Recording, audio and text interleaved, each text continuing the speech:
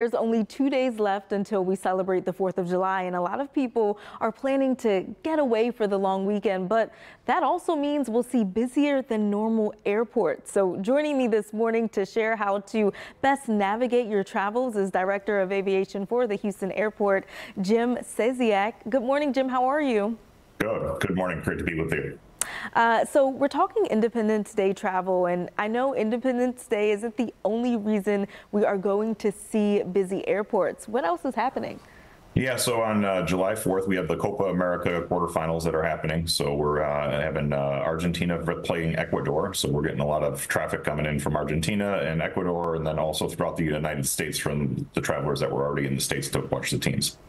And how many people are you guys expecting to travel through the airports?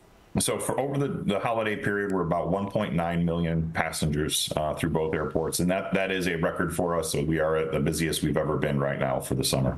All right, where are people traveling to? I mean, I know we got a lot of destinations that you could do: the Bahamas, Cancun. Uh, what are you guys seeing?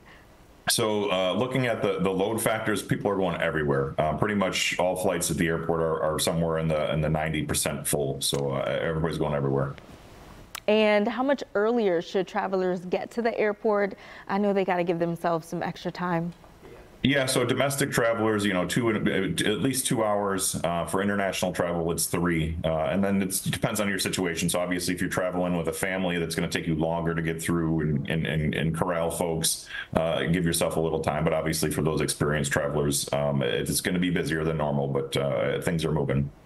And I know we are constantly making upgrades, right, to the airport. So there's a lot of construction going on. Uh, could construction impact travelers? Uh, it should not. So all construction that has any impact on the road has been halted during the holiday periods. And when would you say are the least busiest times if I wanted to kind of beat the crowd? Is there any open window?